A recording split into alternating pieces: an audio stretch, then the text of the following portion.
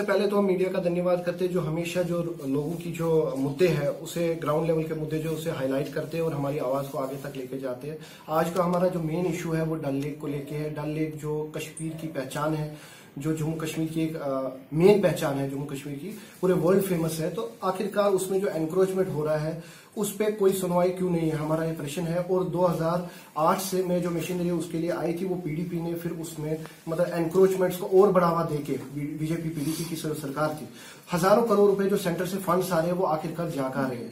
हमारा ये प्रश्न है कि जो जो हमारा प्रश्न है मेन कि जो फंड्स आ रहे हैं डल के लिए, वो कहा जा रहे हैं और क्या उसमें जो श्रीनगर म्यूनसिपलिटी कमेटी है क्या उसमें जो लेक्स डेवलपमेंट अथॉरिटी वाले हैं, क्या टूरिज़्म वाले, उसमें आखिरकार रेस्पॉन्सिबल कौन है? तो एलजी साहब से भी हमने बात की थी इस मुद्दे में और हम और चाहते हैं कि वो इस पर ज़्यादा से ज़्यादा ध्यान दें ताकि जो जो मुद्दा है मेन इशू है तो उस पर कार्रवाई हो, जो एनक्रोचमेंट्स है, जो आप देख लीजिए, अचार लेक है, मानसर झील है, डल झील है, उस पर जो एनक्रोचमेंट्स हो रहे हैं, खासकर डल झील पे, आप देखिए डल का पानी जो है वो कितना सिमल करता है और कितना श्रिंक हो चुका है डल का पानी जो है, काफ़ी बुरी हालत है कंडीशन जो है, इसमें आखिरकार श्रीनगर जो म्यूनसिपलिटी है, वो क्यों नहीं कोई एक्शन कर रहे? वो कह रहे हैं कि लेक्स डेवलपमेंट का इशू है लेक्स डेवलपमेंट कह रहे हैं टूरिज़्म का इशू है टूरिज़्म कह रहे हैं सेंट्रल गवर्नमेंट का इशू है। आखिरकार इस पर कोई सुनवाई क्यों नहीं है? साथ ही साथ हमारा एक और जो मुद्दा है, वो ये है कि जो चिनोर फार्मर्स एसोसिएशन है, वो पिछले तीन तीस साल से वो सफ़र कर रहे हैं, उनको ना कंपनसेशन मिल रहा है, उनको ना लैंड्स की जो उनकी दिक्कत आ रही है गवर्नमेंट ने लैंड्स तो उनकी ली है, लेकिन कोई कंपनसेशन उनको रेंट नहीं मिल रहा है, कुछ भी नहीं।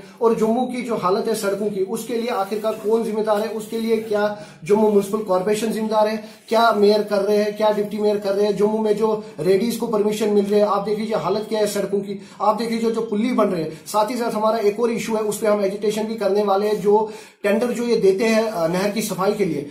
आखिरकार जो बड़ी बड़ी मोटी मोटी बिल्स वो लेते हैं तो जो कॉन्ट्रैक्टर्स है, उनमें आप सफ़ाई के लिए तो उनको देते हैं, वो दस दिन, पंद्रह दिन काम चलाते हैं, पचास करोड़, बीस करोड़, दस करोड़ की बिल्स पास होती है। तो आखिरकार क्या उसकी सफ़ाई होती है? हम ये चाहते हैं इस बार जब उसमें पानी छोड़ा जाए, वो खुद जो कंसर्न चीफ इंजीनियर है कंसर्न कमिश्नर है, वो वहाँ पे रहे और वो देखे कि इसकी सफ़ाई हुई है नहीं। तब जाके उनकी बिल पास की जाए, तब जाके उनको फंड्स दिए जाए। यहाँ पे मतलब बड़ी बुरी हालत हो चुकी है। जम्मू की भी आप देखिए फंड्स इतने आ रहे हैं और वो जा कह रहे हैं? सेंटर से तो पैसा आ रहा है, इसमें कोई शक नहीं है। डल्स के लिए हज़ारों करोड़ रुपए आ चुके कहा जा रहा है? क्या श्रीनगर म्यूनसिपल कॉर्पोरेशन इसके लिए जिम्मेदार है। तो हम ये चाहते हैं इस पे इंक्वायरी हो, इस पे एक इन्वेस्टिगेशन बैठे। जैसे एनआईए की जाँच होती है, वैसे इनके फंड्स की भी जाँच हो, जो इसमें चीफ इंजीनियर इन्वॉल्व है, इसमें सेक्रेटरीज इन्वॉल्व है ब्यूरोक्रेट्स इन्वॉल्व है, इसमें कमिश्नर है सीएम है, जो भी इसमें इन्वॉल्व है 2008 से लेके 2016 तक या टिल डेट तक इसमें जो भी इन्वॉल्व है, उन पे कड़ी से कड़ी कार्रवाई हो, और जो दल को है, अभी भी बचाया जाए, हम, हमारी ये आज सबसे गुजारिश है कि डल की तरफ़ थोड़ा ध्यान दें और आप देख लीजिए जो पुराने राजा महाराजा थे, वो डल के सराउंडिंग कुछ कंस्ट्रक्ट नहीं करते थे, वो डल को बचाना चाहते थे। लेकिन इन्होंने जो हमारे लीडर्स हैं, इनको थर्ड फ्रंट याद आता है, इनको बड़ी बड़ी अपनी कुर्सियाँ याद आती है, लेकिन इनको जम्मू कश्मीर के लोगों की कोई परवाह नहीं है।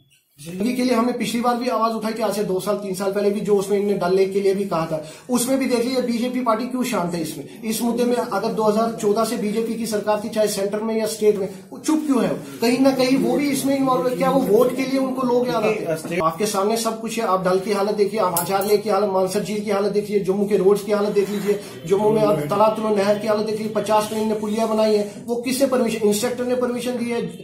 आर ने इरीगेशन ने किसने दिया है? आप देख लीजिए पिछले साल भी इन्होंने जो नहर में सफ़ाई के लिए इन्होंने कहा था, उसमें जो मोटी बिल पास हुई है, उस पर भी जाँच की जाए। आखिरकार हमारा ये प्रश्न है, एलजी साहब से, उस पर आप देख लीजिए क्या सफ़ाई हुई है, कुछ भी सफ़ाई नहीं हुई।